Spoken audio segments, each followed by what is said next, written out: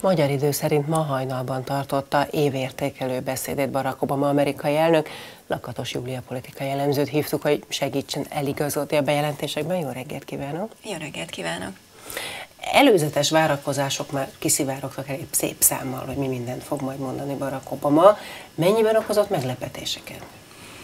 Hát szerintem nagyon szépen rávilágított ez a beszéd, hogy mennyire előkészített az amerikai politika. Tehát láthatjuk, hogy a Charlie Hebdo ügyében egy, egy nagyon komoly kommunikációs csapdába rohantak bele, ahol azt láthattuk, hogy, hogy nem voltak felkészülve egy ilyen Például helyzetre. azáltal, hogy nem elég magas szinten képviseltették magukat. Igen, nem tudtak hogyan reagálni hirtelenjében.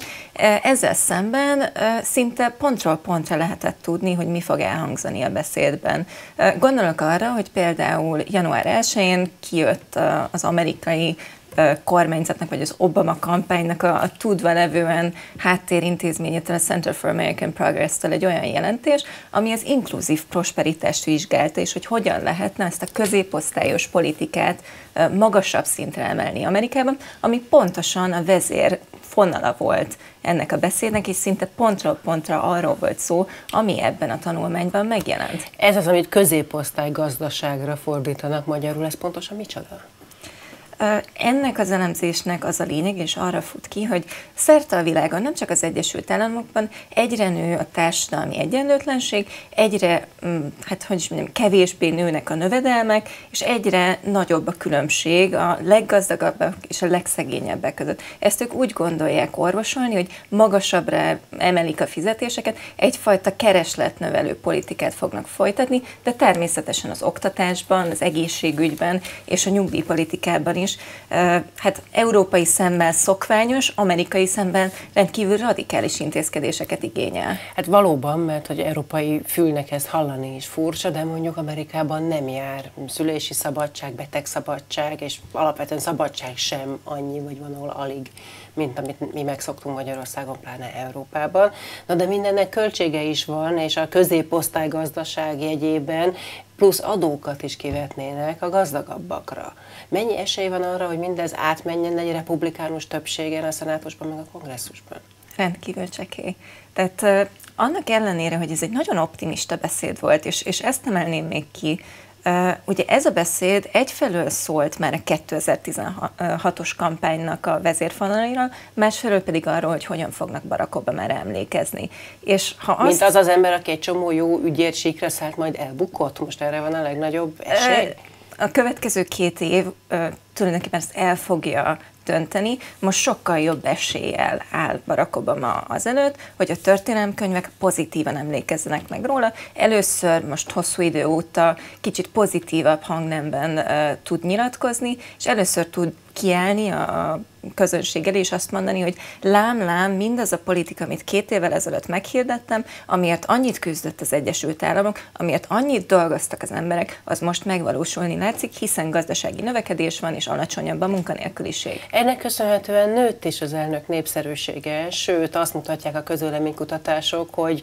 a republikánus többséggel szemben is ő bírja az amerikaiak szimpátiáját, tehát azóta is változott ez, hogy például a szenátusban többségbe kerültek a republikánusok, de mit ér ez a népszerűség, meg mit érnek ezek a szép elképzelések, még akkor is, ha az elképzelések maguk is népszerűek, hogyha nincs meg a megfelelő többsége?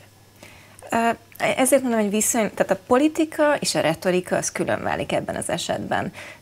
Hiába akármilyen racionális javaslatokat fog most beterjeszteni a két ház elé, egész egyszerűen valószínűleg nem fog átmenni, mert mindkét házban republikánus többség van. Viszont elképzelhető, most először... hogy a republikánus többségnek is tekintettel kell lennie arra, hogy mi a közhangulat az országban, és hogy a választópolgárok egy jelentős részének mindez szimpatikus. Ez azért érdekes, mert egyébként a republikánusok is erről a középosztályos gazdaságpolitikáról beszélnek. Tehát most az látszik, hogy 2016 ez ténylegesen a gazdaság és a középosztály éve lesz. Ez, ez egyébként azért is érdekes, mert például az egészségügyi reformban a legalsóbb rétegek és a leggazdagabb rétegek jártak jól, tehát hogy pont a középosztály egy kicsit rosszabbul járt, mint amire számított, tehát azért úgy gondolom, hogy nagyon sok embernek kell majd mindkét félnek udvarolnia, tehát ez mindenképpen hosszú távon befogja, befolyásolja majd a, a politikát. Mit mondott Obama a terrorizmus témakörében, hiszen említette, hogy itt kellett csorbát kiküszöbölni a párizsi események miatt, ahol az Egyesült Államok nem elég jól kezelte hirtelenjében a helyzetet. Látható, hogy Amerikára mindig is figyelt a világ szeme, és, és mm, George Bush után egy olyan várakozás volt nemzetközileg vele szemben, amit nem biztos, hogy megfelel, vagy kellőképpen uh, tudott hozni ezt a szintet, és, és szerintem külföldről egy, egy elég jelentős csalódás volt a tekintetben, hogy Amerika milyen szerepet fog vállalni a világ dolgainak rendezésében. Nem emelte ki olyan mértékben a terrorizmust, mint amennyire most Európában ez egyébként téma. Sokkal inkább arra fókuszált, hogy Amerika az erős diplomácia és, és a jó vezetéssel kíván a világ gondjaiban egy egyfajta egy lépéssel, hátralépéssel őrködni a demokrácia felett. Sokkal inkább az ukrán konfliktust emeltek ki, és sokkal inkább arra fókuszált, hogy például kivonultak Afganisztánból, és egy, egy okos diplomáciával kívánnak jelen lenni a világ dolgaiban.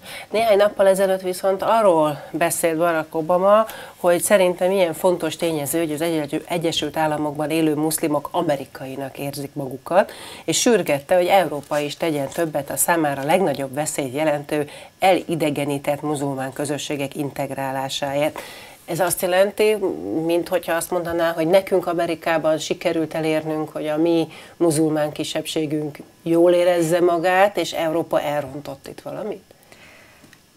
Részben így is lehet értelmezni, de sokkal inkább arra a fonalra fűzném fel, ami végig vezetett ezen a beszéden.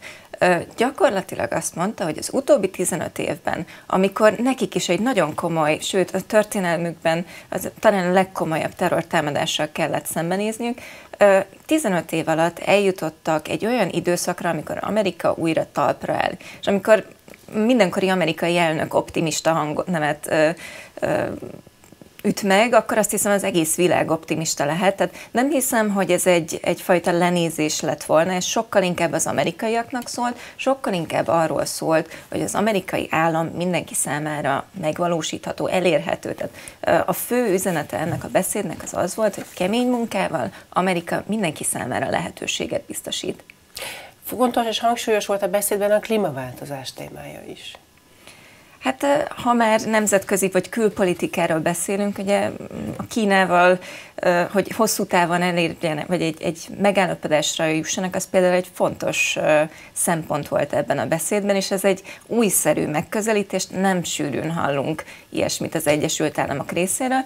Ugyanakkor hát azért azt is látjuk, hogy, hogy a, a nem konvencionális energia terén nagyon jól ellátott az Egyesült Államok. Innentől kezdve hát van egyfajta mm, pozícióban, hogy elegáns legyen és gesztusokat tegyen, és adott esetben a környezet számára, vagy a világ hosszú távú fenntartható fejlődése számára is tegyenek ilyen lépéseket.